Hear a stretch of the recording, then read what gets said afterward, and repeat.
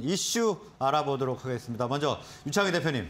네. 자, 최근에 화학주 주가가 괜찮은 모습을 보이고 있습니다. 그 에, 실적 부진에 대한 부분이 이미 선반영됐다 이런 분석이 나오고 있는데 어떻게 접근을 하면 좋을까요? 네, 뭐 최근에 보면은 화학 철강 섹터들이 나쁘지 않습니다. 물론 실적에 대한 우려감은 있습니다. 근데 뭐 그렇다면 삼성전자가 폭락을 했었어야죠. 그러니까 지금은 어떤 실적에 대한 우려감들보다는 앞으로 개선될 여지가 있는 쪽에 있냐 없냐에 포커스가 맞춰지면서 주가가 상승하냐 하락하냐가 아닌가 판단하고 있고요. 중국 reopening에 대한 어떤 기대감들 이런 것들이 화학 수요를 어, 상당히 증가시킬 수 있다 생각을 좀 하고 있어요. 그러면 업황은 어, 올해 개선되면 개선됐지 어, 더 둔화될 가능성은 낮지 않을까 판단을 하고 있고요. 어, 그리고 뭐 유가가 계속 하락하고 있다는 부분들 이런 것들도 어떻게 보면은 어, 수익성 개선, 스프레드 개선에 어, 충분히 기여를 해볼 수 있다 생각을 좀 하고 있습니다. 최근에 이런 것을 좀 감지하면서 외국인하고 기관들의 매수세가 어, 꾸준히 유입되고 있는 부분들도 결국에는 뭐 계속해서 뭐 연중 내내 오른다는 건 아니지만 이미 단기적으로 저점 대비 한 30% 이상 올랐음에도 불구하고 일단은 어, 업황 개선에 대한 어떤 기대감들 이런 것이 좀 몰려 있지 않나 판단을 좀 하고 있습니다. 그래서 뭐 롯데케 미칼이라든지 뭐 대한유화, 어, 뭐 특히 대한유화 같은 경우는 약간 어, 전체적으로 봤을 때 대장주 역할을 좀 해볼 수 있지 않을까 좀 판단하고 있습니다. 오늘 효성 TNC가 어, 고점을 돌파시키는 모습을 보여줬기 때문에 그러한 패턴을 갖춘다라면 대한유화 역시 마찬가지로 어, 추가적인 상승 기대해 볼 수 있지 않을까 판단하고 있습니다. 네, 앞으로는 실적 개선의 여지가 있느냐가 중요하다고 분석을 해주셨고요. 대한유화와 롯데케미칼 어, 분석을 해주셨습니다. 자, 다음은 정호영 원장님. 자, 윤석열 대통령이 아랍에미리트와 스위스 세일즈 외교로 방문을 합니다. 이렇게 되면 좀 관련주를 좀 봐야 될 것 같은데요. 네, 맞습니다. 자, 14일부터 21일까지 자, 어, 아랍에미리트부터 시작해서 스위스 방문을 합니다. 경제 외교의 새해 첫 순방인데요. 자, 경제사절단을 상당하게 지금 많이 대동해서 움직이는 걸 보게 되면 올해는 어, 포커스가 경제, 경제. 처음에 처음부터 끝까지 다 경제 이야기가 나올 것 같습니다. 자, 윤 대통령은 어, 무함마드 대통령과 어, 정상회담 및 국빈 오창과 양국의 특별 전략 동반자 관계에 격상하는 논의를 예정 중입니다. 그러다 보니까 주요 국내 주요 그룹 총수 비롯해 가지고 100개 어, 100여 개의 기업을 구성된 경제 사절단이 순방합니다. 자, 윤 대통령 순방에 이러한 대규모 경제사절단을 동의한 것은 사실상 처음이라고 볼 수 있는데 그만큼 지금 현재 경제 상황이 자, 순탄치 않고 앞으로의 2023년도에 첫 단추를 어떻게 깨냐에 따라 가지고 전체적인 이 경제의 어, 이 포커스가 좀 어, 이 방향이 잡힐 것 같습니다. 자, 그게 있어 가지고 특히나 지금 이 지금 어, 언론에서 제일 이야기가 많이 나오는 게 다수의 양해각서가 체계될 거라는 예 상을 하고 있는데 그 중에서 하나가 원전, 에너지, 방산, 기후 변화, 우주, 보건, 의료 그리고 스마트팜이 조금 이, 특이하죠. 자, 그리고 문화 콘텐츠 등 다방면으로 협력을 강화한다는 분석을 좀 이야기 나오고 있습니다. 자, 그리고 여러분들 오늘 여러분들에게 접근해 볼 만한 이 섹터는 사실 방산이라고 볼 수 있는데 여기서 이 하나 에어로스페이스를 여러분들에게 어, 장중에 이 오늘 자 60일선이 근접해 있는 상태에서 기관과 외국인 오늘 오전장부터 쌍끌이 매수가 지금 들어오고 있다 볼 수 있습니다.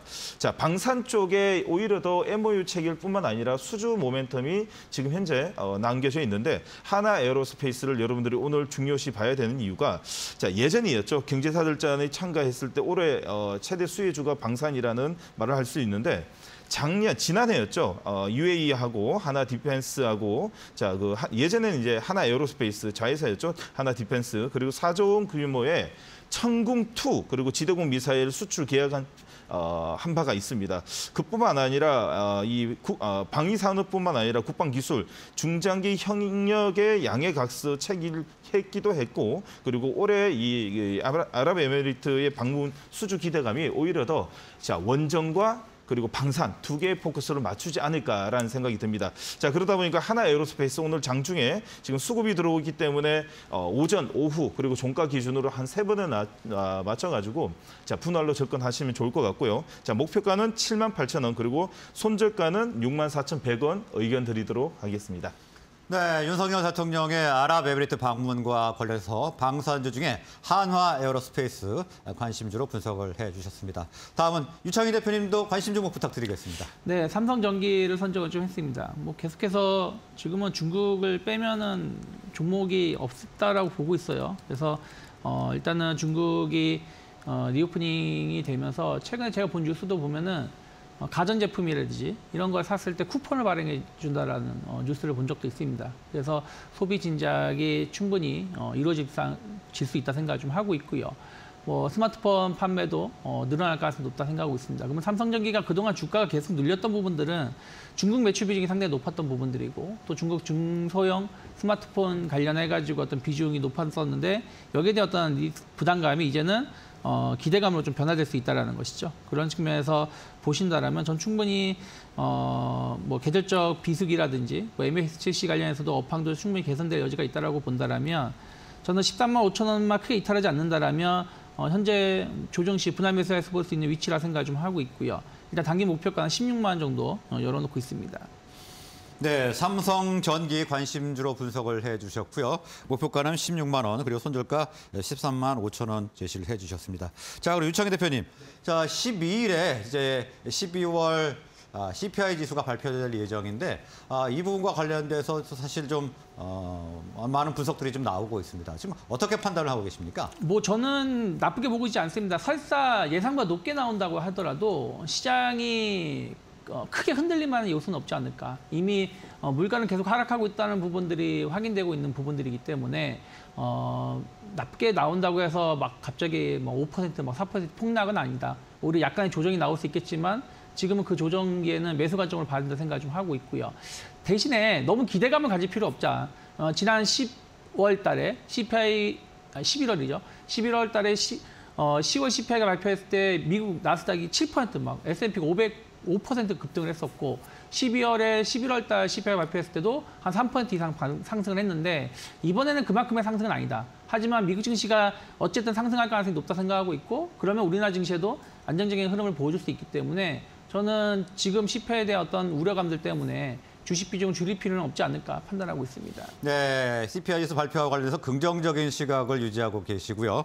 어, 너무 기대를 가질 필요는 없다 이렇게 덧붙여 주셨습니다. 자, 그리고 정호영 원장님도 자 12월 CPI 지수 발표 이후에 어, 전략에 대해서 좀 말씀을 해주시죠.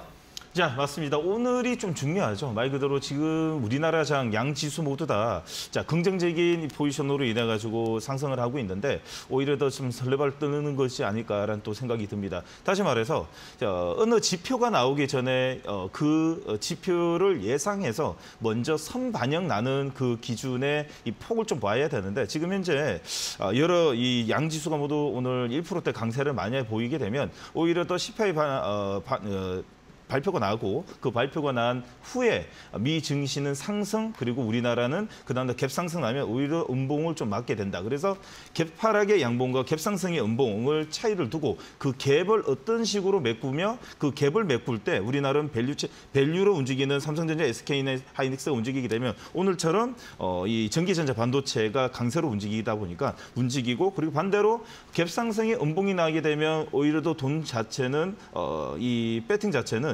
탄력적인 움직이는 테마 장소로 움직인다. 지금 현재 AI라든지 아니면 중국 관련 주뿐만 아니라 어, 재건 쪽 그리고 이 그 두바이 쪽 이쪽을 보게 된다. 그래서 항상 주식은 아침 시작과 동시에 지수의 방향에 따라 가지고 탄력과 테마와 밸류에 따라 가지고 갭상승 음봉과 갭하락의 양봉에 따라 가지고 포지션을 자유롭게 움직일 수 있는 어, 여러분들의 이 보는 시각 조금 전에 정치 전광판을 보면서 여러분들이 포지션을 항상 자, 저, 좀 좋게 좀 끌고 갔으면 좋겠습니다.